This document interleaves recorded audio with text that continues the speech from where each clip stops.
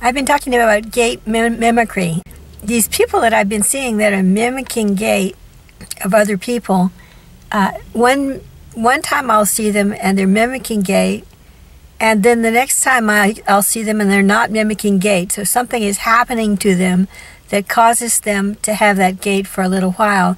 And I thought and thought about it. And uh, what I thought is that it reminded me of a time when I was, I had a meetup.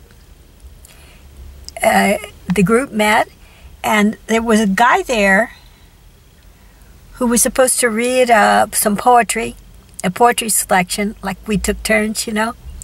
And when he started, when he looked at it and started to read it, something settled down onto him, onto his head and shoulders, and he read in a completely different voice from his usual voice, a voice that I recognized as that of someone else.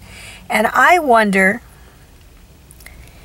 if this is similar to the gait mimicry ph- phenomenon. In other words, a transference of of a feature of a person uh, to another person somehow. Even I wonder if it's the same being that's that's doing this. Uh, in the case of the voice and in the case of the gait. Maybe in the case of other things, it's hard to say. I'm going to keep my eyes open about it.